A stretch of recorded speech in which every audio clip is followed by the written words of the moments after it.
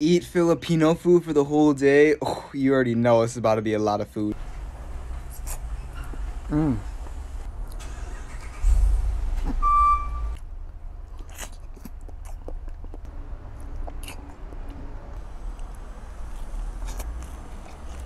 Mm.